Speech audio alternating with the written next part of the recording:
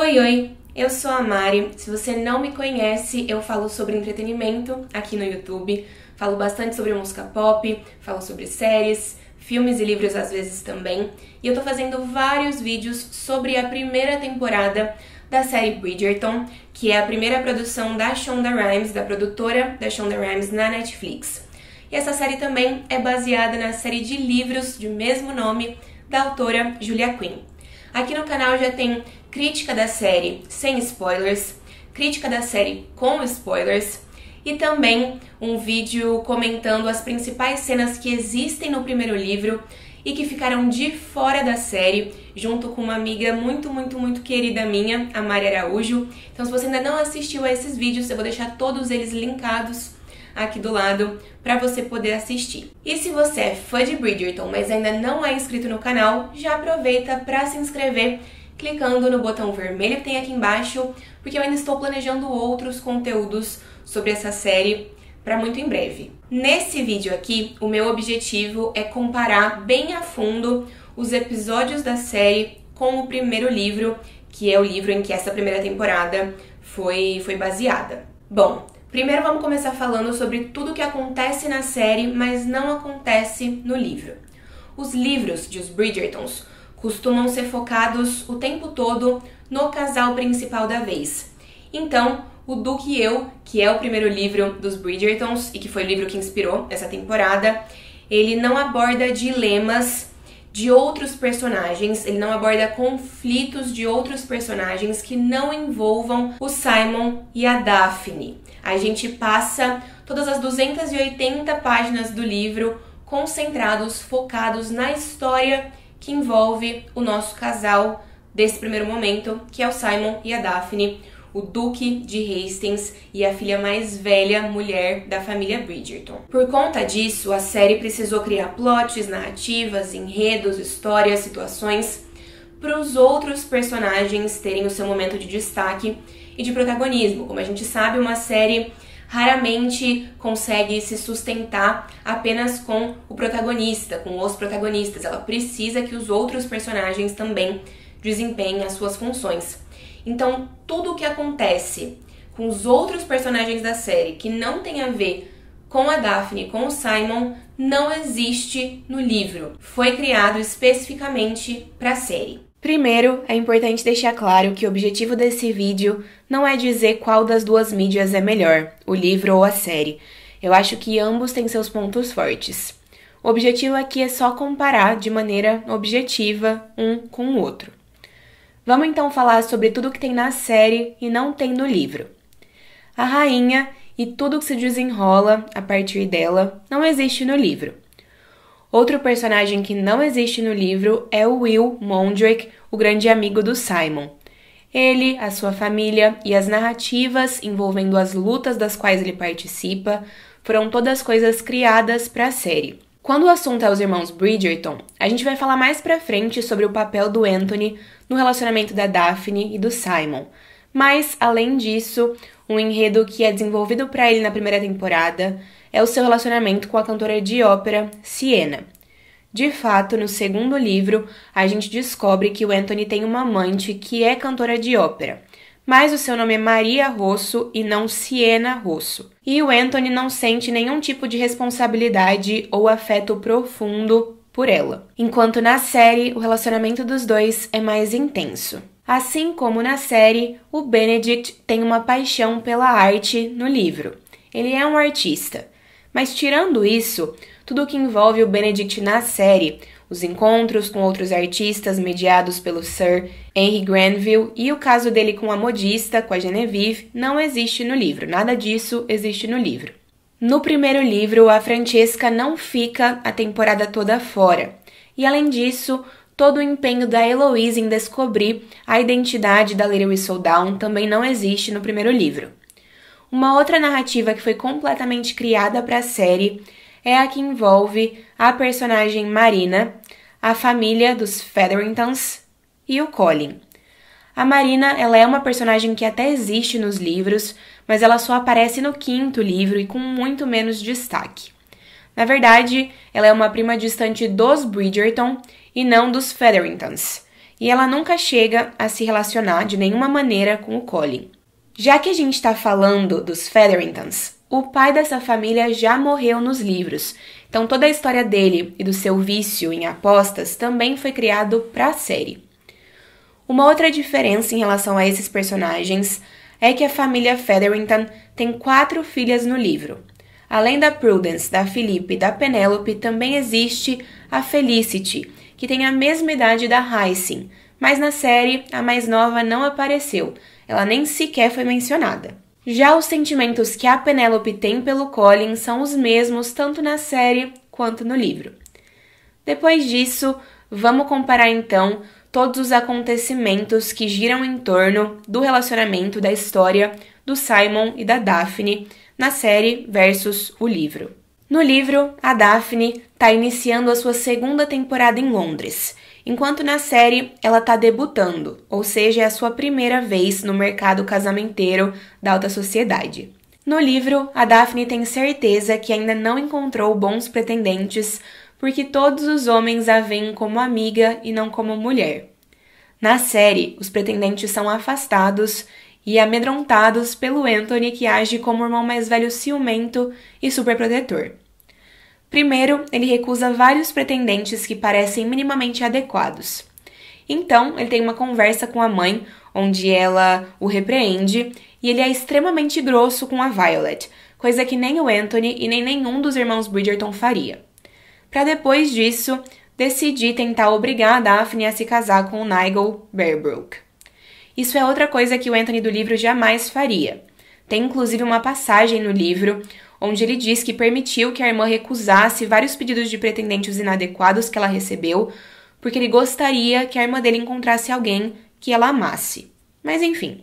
No livro, a Lady Whistledown já está escrevendo há três meses quando a história tem início. Na série, a gente acompanha ali as primeiras publicações dessa autora misteriosa. No livro, o Colin retorna de surpresa a Londres durante o baile da Lady Danbury, porque ele estava viajando pela Europa, enquanto na série ele ainda não deu início às suas viagens. Na série, Anthony e Simon se reencontram apenas durante o baile da Lady Danbury, enquanto no livro o Anthony é a primeira pessoa que o Simon procura quando ele volta para a Inglaterra. Na série, a Daphne conhece o Simon esbarrando nele no salão do baile da Lady Danbury, e logo em seguida o Anthony aparece, revê o amigo e os apresenta. Já no livro, o nosso casal protagonista se conhece quando a Daphne e o Nigel Bearbrook estão conversando sozinhos e ele tenta se aproveitar dela, o que faz com que ela acerte o rosto dele com um soco forte e muito bem dado. Essa cena com o Nigel, a Daphne e o Duke na série só acontece dias depois, durante um outro evento. É nesse mesmo momento que o Simon e a Daphne firmam o acordo de fingirem estar interessados um no outro e se cortejando. No livro, o acordo acontece ainda no baile da Lady Danbury, no salão de festas, enquanto os dois dançam juntos pela primeira vez. Depois do soco que a Daphne dá no Lord Bearbrook, ele não aparece mais no livro. Enquanto na série, toda uma narrativa se desenvolve onde ele, o Nigel, né, tenta de todas as formas se casar com a Daphne. Para salvar a filha disso, a Violet encontra uma maneira de descobrir algo que incrimine e envergonhe o Nigel, obrigando ele a deixar a cidade. Uma outra diferença do livro para a série é que na série o Simon de fato vê o pai no seu leito de morte e promete na cara dele que vai garantir o fim da linhagem dos Bassett. No livro isso não acontece. Os dois não se encontram, a promessa do Simon é mais interna do que presencial. No livro, no início do cortejo entre Simon e Daphne, a família Bridgerton convence o Duque a fazer um passeio com eles para Greenwich. Esse passeio não é retratado na série. Da mesma forma que tem coisas no livro que não aparecem na série, também tem várias coisas que aparecem na série, mas não existem no livro. Todo o plot envolvendo o príncipe da Prússia foi criado só para televisão. No livro, esse príncipe não existe, então toda a história envolvendo ele nos episódios 3, 4 e 5 também não. Falando de coisas que acontecem na série, mas não acontecem no livro, a cena da Daphne perguntando para o Simon o que acontece entre marido e mulher durante o casamento e ele dizendo para ela que o que acontece é apenas uma extensão do que ela faz sozinha à noite, também não existe no livro. Apesar da cena do primeiro beijo da Daphne e do Simon ser bastante parecida, tanto no livro quanto na série, os eventos que levam a essa cena são um pouco diferentes. No livro, a Daphne decide levar o Simon para o jardim depois dele ter se chateado com a insistência do conde de Middlethorpe para entregar umas cartas do pai dele para ele. Todo esse plot das cartas não existe na série. Ainda no livro, Daphne e Simon vão para o terraço do baile da Lady Trowbridge. Eles conversam sobre as estrelas até o Simon se acalmar e ela decide que ela quer beijá-lo. Então ela vai para o jardim e obriga, mais ou menos, ele a segui-la também. Na série, a Daphne sai do salão durante o baile da Lady Trowbridge quando o príncipe Frederick está prestes a pedi-la em casamento, porque ela precisa respirar. O Simon aparece e diz que ele está ali para se despedir dela porque ele planeja ir embora. Os dois discutem, ela foge para o jardim. Da mesma forma, ele a segue. Bom, eu disse que a cena do primeiro beijo é parecida, né? Mas isso não significa que ela seja 100% igual. No livro, ambos sabem que o beijo está prestes a acontecer quando ele acontece. E eu tenho a impressão de que as coisas acontecem com um pouco mais de calma do que na série nesse momento. Além disso, ainda no livro, o Anthony interrompe os dois logo depois do Simon abaixar parte do vestido da Daphne, deixando ela numa situação ainda mais complicada. O Anthony e o Simon começam a se atacar e a Daphne tenta entrar no meio para separar os dois, mas é atingida sem querer e acaba se machucando ao cair numa cerca. Além disso, a conversa que acontece entre os três no livro me parece mais explicativa. O Simon realmente leva muito a sério a promessa que ele fez de não se casar, mas ele deixa claro que se ele pretendesse se casar com alguém, seria com a Daphne. Na série, essa cena acontece com mais rapidez, mas o resultado é o mesmo. O Anthony desafia o Simon para um duelo ao amanhecer. Na série, quem dá a entender que viu o que aconteceu entre o Simon e a Daphne no jardim é a Cressida Cowper, enquanto no livro é um amigo do Colin. No livro, Colin ajuda Daphne com mais facilidade do que na série a impedir o duelo que está prestes a acontecer. Na série, o Simon leva ao duelo, como seu padrinho, o Will, mas esse personagem não existe no livro. Então, no livro, o Simon vai sozinho, ele está disposto a morrer ali pela Daphne. Na série, a Daphne chega ao duelo quando o Anthony já tá atirando no Simon. No livro, ela chega um pouco antes e, tentando resolver a situação, ela dá um soco no Simon e ameaça dar um soco no Anthony também, se ele não deixá-la sós com o Simon para conversar. A conversa entre os dois, entre a Daphne e o Duke na série, é bastante similar ao livro. Eles decidem se casar e depois pedem uma licença especial para realizar a cerimônia, o mais rápido possível. No livro, isso é feito sem problemas, e toda a família Bridgerton está presente, juntamente com alguns outros convidados. Na série, a rainha tenta impedir que a licença especial seja concedida ao casal, o que acaba resultando na cena lindíssima do Simon falando sobre os seus sentimentos em relação a Daphne na frente da rainha. Além disso, pouquíssimas pessoas comparecem ao casamento. Alguns pequenos detalhes da cerimônia também são diferentes. No livro tem beijo durante a cerimônia e várias risadas entre o casal. Na série, não. Na série tem uma festa de casamento para vários convidados depois da cerimônia. No livro, não. Nessa altura da história, na série, as coisas ainda parecem bastante doloridas em relação ao casamento da Daphne e do Simon. Ele parece estar odiando tudo e ela parece desconfortável com a situação. No livro, as coisas ainda estão um pouco estranhas, mas os dois parecem mais leves e mais felizes. Tanto no livro quanto na série, a Violet, a mãe da Daphne, conversa com ela sobre a noite de núpcias, mas a cena do livro é mais engraçada do que a cena da série. Enfim, depois da oficialização do casamento, o casal segue para Clivedon, e tanto no livro quanto na série eles param numa hospedaria para passar a noite. No livro, Simon pede por quartos separados, mas só tem um quarto disponível. Na série, os dois de fato ficam em quartos separados até irem procurar um pelo outro. No livro, tem uma cena muito engraçada antes da noite de núpcias, em que a Daphne acha que o Simon não é capaz de consumar o casamento, já que ele diz que ele não pode ter filhos. Essa cena ficou de fora da série. Ao invés disso, a gente tem na série uma cena onde os dois conversam honestamente e fica claro que o clima estava estranho porque um não tinha percebido o quanto o outro também estava louco e apaixonado. Bom, uma coisa importante nos livros da Julia Quinn é que ela é bastante descritiva em cenas de sexo, então todo mundo estava bastante curioso para ver como essas cenas apareceriam na série.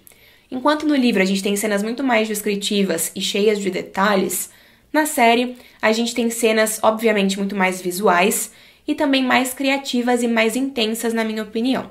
A relação meio conturbada da Daphne com a governanta do Simon, os passeios do casal pela região de Clivedon e os problemas financeiros deixados pelo administrador do Duque só existem na série. Mas, tanto no livro quanto na série, é através da governanta que a Daphne entende que o Simon teve uma infância bastante complicada.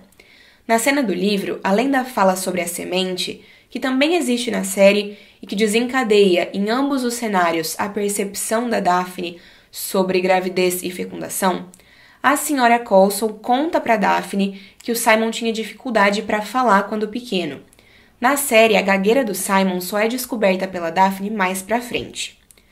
No livro, é depois que a Daphne descobre sobre a infância do Simon que ela decide dizer eu te amo para ele. Os dois estão na cama quando isso acontece. Logo depois que a Daphne diz eu te amo e os dois fazem amor, ela se lembra da frase sobre sementes dita pela governanta e percebe o que o Simon vem fazendo desde que eles se casaram. Ela descobre que, na verdade, o Simon não quer ter filhos ao invés de não poder, e ela já o confronta nesse momento. Inclusive, os dois já conversam sobre o pai do Simon e sobre como ele o rejeitou por conta das suas limitações nesse momento também. O casal passa alguns dias brigado.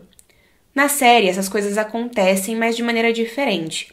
A Daphne e o Simon transam no escritório do Duque, a Daphne também percebe o que está acontecendo e corre até a Rose, a sua criada, pedindo para que ela lhe explique como uma mulher engravida. No dia seguinte, a Daphne decide tomar o controle das coisas e, enquanto está transando com Simon, ela se coloca por cima, levando-o a ejacular dentro dela. É depois disso, na série, que ela o confronta, dizendo que o que ele sente por ela não pode ser amor porque quem ama não mente. Essa cena foi uma adaptação do que acontece no livro, porque a cena do livro é bastante problemática. Enquanto na série a Daphne seduz o Simon para testar a teoria de que ele tem enganado ela esse tempo todo e faz isso enquanto ele está plenamente consciente, no livro ela já tem certeza de que ele não quer ter filhos e se aproveita de um Simon bêbado e sonolento para propositalmente tentar engravidar dele. No livro, depois disso, o Simon deixa a Daphne sozinha em Clivedon e vai para outra de suas propriedades, o que faz com que a Daphne decida voltar para Londres e se hospedar na casa que o Simon mantém na cidade. Na série, os dois voltam juntos para Londres depois que a Daphne descobre que o Colin está envolvido no escândalo relacionado à Marina. O Simon diz que se a Daphne estiver grávida, ele vai ficar do lado dela para dar suporte, mas que se não, eles terão vidas completamente separadas um pouco dramático para o meu gosto. O casal passa dois meses sem se ver no livro, até que o Anthony vai até o Simon e entrega uma carta da Daphne para ele. Nessa carta, a Daphne comunica ao Simon que a tentativa de concepção foi bem sucedida e o Simon vai atrás dela em Londres. Porém, quando ele chega em Londres, ele procura pela Daphne e a encontra cavalgando pelo parque. Mas quando os dois conversam, a Daphne revela que se enganou que na verdade ela tinha menstruado dois dias antes. Os dois fazem as pazes, o Simon finalmente diz que a ama também e decide parar de evitar que ela engravide. É em Londres também, na série, que o Simon conta para Daphne que não quer ter filhos por conta do juramento que ele fez para o seu pai. A menstruação da Daphne, na série, desce durante um concerto. Então, a Daphne encontra cartas que o Simon escreveu para o seu pai na infância e só então descobre sobre as dificuldades de fala do seu marido. No último episódio da temporada, acontece o baile na casa do Simon e da Daphne, e é quando a gente tem a cena da chuva, em que a Daphne conta para o Simon que leu as cartas que ele mandou para o pai e também diz que o ama por inteiro e que ele deve escolher se quer amá-la da mesma forma. Pouco depois, o Simon diz que não sabe como ser o homem que a Daphne merece ela diz para ele que tudo que ele precisa fazer é ficar e que os dois vão encontrar uma maneira de resolver as coisas juntos. E é assim que os dois se reconciliam na série e fica subentendido que ele decidiu parar de evitar que ela engravide na série também. Na série, quando a Daphne dá à luz ao primeiro filho do casal, é um menino, enquanto no livro os dois têm três meninas antes de terem o seu primeiro filho homem. Eu acho que essa mudança foi para deixar claro que então o ducado, o título do Simon ia sim continuar e que ele estava feliz quanto a isso. Por último, uma outra grande diferença da série para o livro é a revelação de quem é a Lady Whistledown. Em ambas as mídias é a mesma pessoa, é a Penélope, mas enquanto a série já faz a revelação no final do último episódio da primeira temporada, nos livros a gente só descobre mais pra frente. É isso, espero que vocês tenham gostado desse vídeo comparando a série e o livro, a primeira temporada, né? Eu sei que pode ter sido bem útil para quem não leu o livro, mas queria saber, tinha curiosidade de saber o quão diferente ele era da série, e também pode ter sido útil para quem leu o livro já há algum tempo e não estava com a memória super fresca em relação aos acontecimentos de O Duque e eu. Se vocês gostaram desse vídeo, já aproveitem para deixar um joinha aqui embaixo, me ajuda muito, e também escrevam nos comentários qual foi a mudança que a série fez que você mais gostou ou a mudança que a série fez que você menos gostou. Vamos conversar aí um pouquinho sobre isso. Obrigada por ter me assistido, um beijo grande e até o próximo vídeo de Bridgerton.